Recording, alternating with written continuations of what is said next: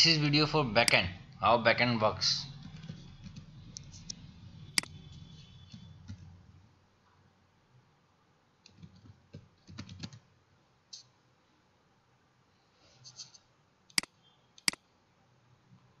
This is our backend panel.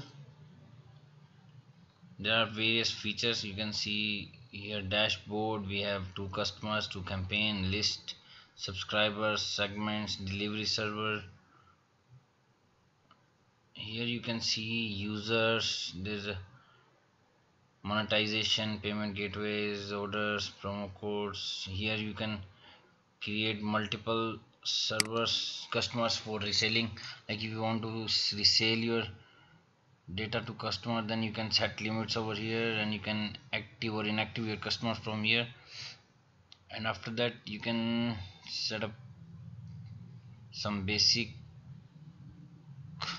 things like common things like uh, email memory how you want to send email your identity for the domain everything you can set up from here. You can see the panel. After that you can generate system urls from here with your custom domain.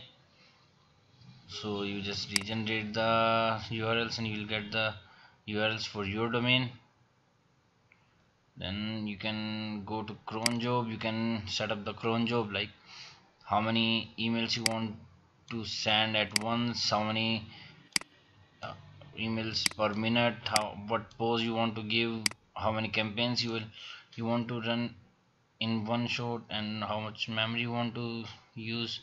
There are bounce server. It will have bounce server feedback loops and delivery servers also after that you can see import and export settings. There are multiple settings you can use. So these are the some common settings I'm sharing over here. So when you will get server I will show you all the settings. Thank you